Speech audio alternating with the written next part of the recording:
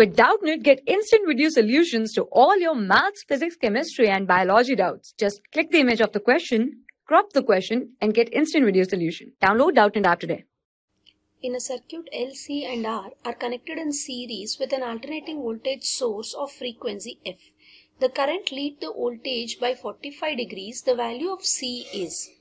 So in a LCR series circuit, they are saying that the frequency has a, uh, the source has a frequency F the current leads the voltage by 45 degrees which means that they are telling that the phase difference phi will be equal to 45 degrees and in this condition you have to find the value of C.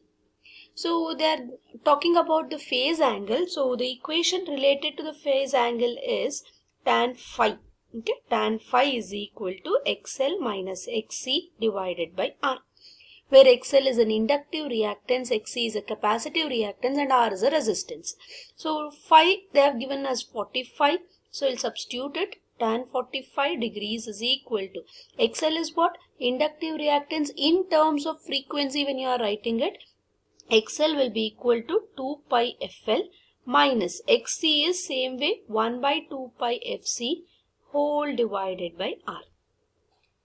And now when you simplify this, when you take over with C here, when you are reducing this equation in terms of C, see tan 45 is 1, right? So tan 45 is 1, so this part, LHS part becomes 1. So you have R is equal to 2 pi FL minus 1 by 2 pi FC.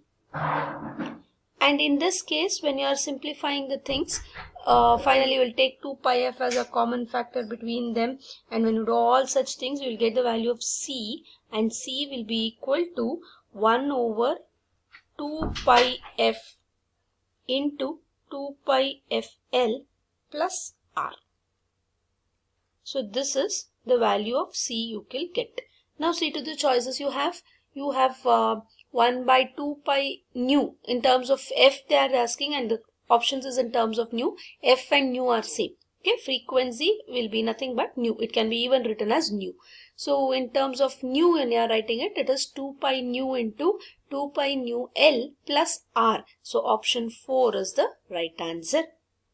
For class 6 to 12, IIT JEE and NEET level. Trusted by more than 5 crore students. Download Doubtnut app today.